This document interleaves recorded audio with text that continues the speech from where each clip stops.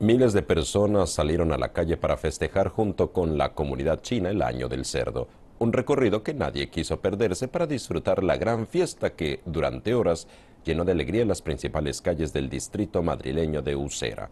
Allí estuvo nuestra corresponsal Tania de Francisco, quien nos trae los detalles. Madrid celebra por cuarto año consecutivo el Año Nuevo Chino con un gran pasacalles multicultural en el que han participado 1.200 artistas de diversos colectivos y asociaciones. Una carroza en forma de barco ha abierto paso al desfile, seguido de una comitiva de bailarinas con la vestimenta típica del país oriental, dragones gigantes, farolillos fabricados por los niños y música en directo. Sin duda, el momento de las celebraciones más reconocible y colorido de las fiestas del Año Nuevo chino en Madrid y con el que la capital española da la bienvenida al año 4717 del calendario lunar. Para nosotros es muy importante eh, poder celebrar el Año Nuevo chino en España. Eso es una día más importante para nosotros en China y en España o en todo el mundo. Los chinos celebramos este día. Muchas gracias por el Ayuntamiento de Madrid que montar esta fiesta. Esta fiesta yo creo que no es solo para los chinos que viven aquí, para todos los madrileños. Eh, nosotros queremos eh, aquí usar agua haciendo unos sitios multiculturales. Con este desfile multicolor y al ritmo de las danzas del dragón y el león, miles de chinos residentes en Madrid celebran en las calles con esta alegría el recién estrenado Año del Cerdo. Xin Kuai Lo. Cada año tenemos más gente entre la celebración de Año Nuevo China. Este año son cerdito. Soy de año de cerdito, tan feliz, tan simpático. Mucha suerte. pues una antigua danza que se ha ido llevando a cabo, ¿no?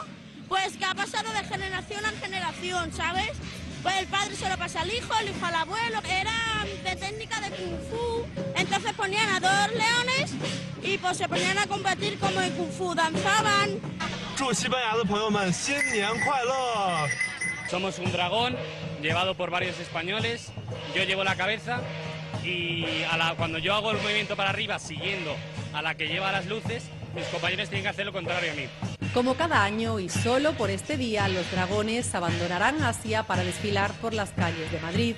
El Año Nuevo chino tiene una importante visibilidad en todo el mundo y desde la capital española nos unimos a la fiesta con una programación cultural y festiva que va creciendo cada año y a la que también cada año se suman más españoles que desde primeras horas de la mañana vienen hasta aquí para envolverse de la cultura china.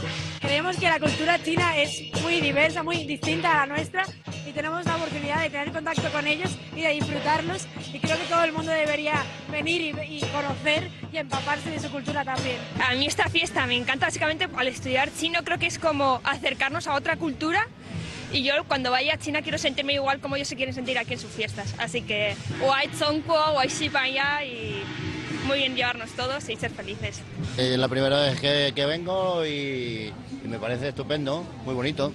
Yo creo que hay que bueno promocionar todo este tipo de fiestas, ¿no? Interculturales e interraciales, ¿no? Esto es pura China aquí en Madrid.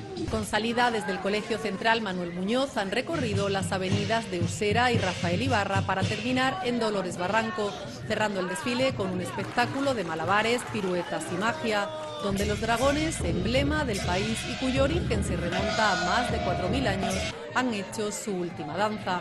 Eso sí, solo hasta el año que viene, cuando daremos la bienvenida al año del ratón. Tania de Francisco, CGTN en español, Madrid.